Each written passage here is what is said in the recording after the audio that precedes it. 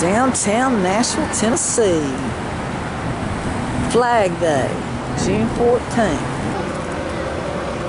Come on, girl.